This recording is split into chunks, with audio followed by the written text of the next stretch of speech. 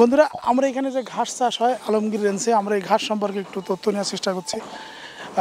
আমার পাশে দাঁড়িয়ে আছেন সোহেল পারভেজ বকুল। বকুল, এখানে আমরা কী ঘাস চাষ করেছেন? এখানে আমরা মূলত ঘাস চাষ করছি জারা ঘাস। কিন্তু আমি জানতাম না অ্যাকচুয়ালি এটা হচ্ছে জারা ঘাস। যখন আমি দেখলাম যে আমাদের এই ঘাসটা অনেক উঁচু হয়, মোটা হয়, তখন আমি ইউটিউব খোঁজ করে ইউটিউবে দেখে দেখি যে না, এটাই মূলত জারা ঘাস। এবং কি ঘাসটা অনেক মিষ্টি, গোড়াটা অনেক রসালো। এই গাছটা প্রচুর খায় এবং কি প্রচুর বৃদ্ধি পায়। যা অন্য কোথাও এরকম হয় না ঘাসগুলা আমাদের এখানে পঞ্চাশ বিঘা জমিতে ঘাস আছে। সেই গাছটা এই ঘাসের মতো না। এই জারা গাছটা আমাদের আছে মোটামুটি আঠারো বিঘার মতো। তো এটার প্রচুর উৎপাদন, ফলন, ওজনেও বেশি, সব দিক দিয়ে মোটামুটি আমরা খাচ্ছে কেমন? এই গাছটা অনেক ভালো খাচ্ছে। এটা দেখতে মনে হইতেছে দেখেন কুশালের মতো। কিন্তু এই গাছটা যখন কেটে দিব তখন গরু প্রচুর খায়। যা অন্য নেপিয়ার ঘাসগুলো এরকম খায় না এত শক্ত হইলে বড় হইলে খায় না। আচ্ছা এই এই যে ধরেন আমি দেখতে পাচ্ছি যে এখানে কিছু লাল পিঁপড়া। তো এই লাল পিঁপড়াগুলো কেন? এই লাল পিঁপড়াগুলা এই লাল পিঁপড়াগুলা তেমন একটা ক্ষতিকারক না। ক্ষতিকারক না মানে- মানে হচ্ছে কি যে এই যে ঘাসটা তো মিষ্টি। হ্যাঁ, যেখানে মিষ্টি থাকবে চিনি থাকবে সেখানে লাল পিঁপড়া চলে হ্যাঁ, আসবে। হ্যাঁ। তাই না? সেখানে লাল পিঁপড়া আসবে। কারণ আমাদের ডাক্তার জহুরুল ইসলাম স্যার বলেছিলেন যে এই জারা ঘাসের একটা বৈশিষ্ট্য আছে ঘাস কেটে রেখে দিলে বা ঘাসের গুঁড়ায় লাল পিঁপড়া চলে আসে তার একটা বৈশিষ্ট্য আছে। কাজে এটা আপনি জানতেন না যে এটা জারা এটা আমি জানতাম না যে এটা জারা ঘাস যখন আমাদের মাননীয় চেয়ারম্যান স্যার বলছিল যে আমাদের এখানে জারা ঘাস আনতে হবে। তখন আমি ইউটিউবে সার্চ দিলাম যে জারা গাছটা কেমন। তখন আমি যখন দেখলাম যে একটা রিসার্চ সেন্টারে জারা ঘাস আমার দেখাইতেছে, দেখলাম যে এর থেকে একটু চিকন।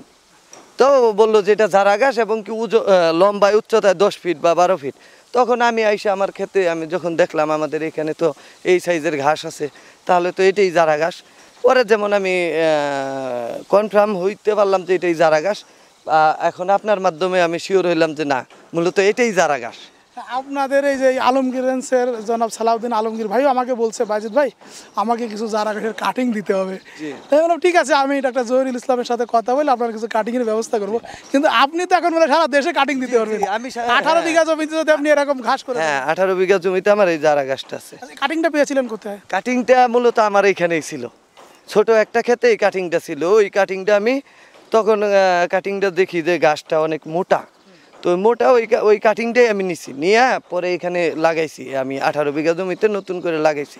লাগানোর পরেই দেখি যে গাছ অন্যরকম একটাই আচ্ছা আপনাদের এখানে কি কি ঘাসের আবাদ করেন আমাদের এখানে আছে লাল পাঞ্চুং আছে জার্মান জাম্বুর চারা লাগাইছি তারপরে নেপিয়ার হাইব্রিড আছে আর নেপিয়ার একটা আছে হলো এই নেপিয়ার গাছ যা আছে হ্যাঁ পাঞ্চুং আছে তারপরে এখন তো জারা গাছ আমি তো সবকটা ঘাসের ভিতর সব থেকে কোনটা ভালো? এই জারা।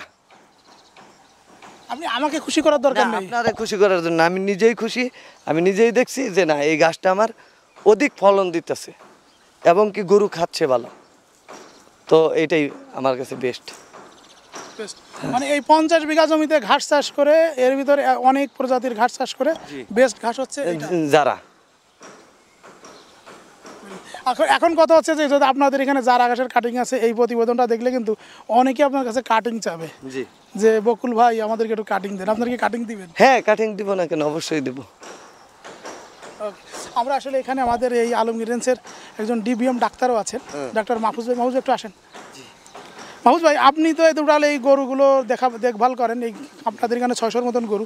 তো এই ঘাসটা এই আপনাদের গরু কেমন খায় সেটা জানতে হ্যাঁ গরু আসলে এটা খুব যত্ন সহকারে এবং আগ্রহ সহকারে খুব বেশি পরিমাণে খায় আমাদের এই এখানে ঘাসটাই আমরা সবচেয়ে বেশি খাই। ঠিক আছে? এই যে ধরেন আপনাদের এখানে কি কি যে যে কি কি ঘাস আছে এবং তার ভিতরে যারা ঘাসটা বা এই ঘাসটার একটু বৈশিষ্ট্য শুনতে চাই? হ্যাঁ আমাদের এখানে আছে নেপিয়ার আছে রেড পাকচুং আছে জাম্বু আছে জার্মান আছে আর এই জারা ঘাস আছে। তো এই জারা ঘাসটাই সবচেয়ে বেশি যেহেতু মিষ্টি এবং খেতে খুব সুস্বাদু যার কারণে গরুরা এটাকে খুব তৃপ্তি সহকারে খায়। আর জারা গাছের বৈশিষ্ট্য যেটা হচ্ছে যে এটা হচ্ছে যে মিষ্টতা থাকবে এবং একটু মোটা হবে এবং খুব দ্রুত বর্ধনশীল। হ্যাঁ তো যার কারণে এই গাছটা দ্রুত আমরা কাটতে পারি পরিমাণে বেশি খাওয়াতে পারি। আসলে বকুলের চেয়ারম্যান আলমগীর রেঞ্জের আলমগীর সাহেব আমাকে বলছিল বাজিদ ভাই আমাকে কিছু যারা কাটিং দিতে হবে।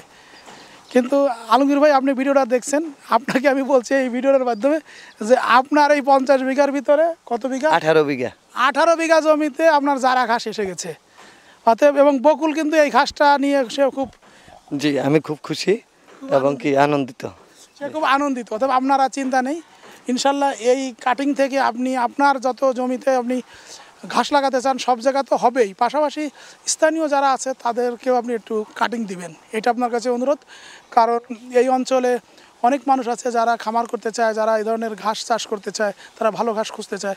আমার মনে হয় যে আপনি যদি তাদের সহযোগিতা করেন, আর পাশাপাশি আপনাকে একটা অনুরোধ করব, আপনার যারা বন্ধুরা আছেন, যাদের এরকম আপনার মতন, আপনার মতো শিল্পপতি আছেন, তাদেরকে একটু অনুপ্রাণিত করবেন এই ধরনের অ্যাগ্রো বিজনেস করতে বা অ্যাগ্রো খামার গড়ে তুলতে। এই ধরনের যদি বড় বড় খামার গড়ে ওঠে, তাহলে আমাদের প্রাণী সম্পদটা অনেক ডেভেলপ হবে। আপনারা যখন এই শিল্পে আসছেন, তখন কিন্তু আপনারা একদিকে প্রোডাকশন ভালো আর একদিকে কিন্তু গবেষণা। সব কিছু মিলে কিন্তু আপনারা এই দেশের জন্য একটা কন্ট্রিবিউট করার সুযোগ আছে। এবং আপনার যে বন্ধুরা আসবে, তারাও কিন্তু ভালো করবে। সবাইকে ধন্যবাদ, আসসালামু আলাইকুম। আর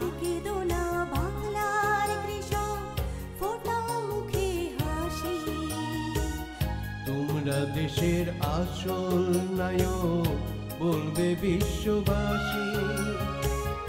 আর কি না বাংলার কৃষক ফোটাও মুখে হাসি।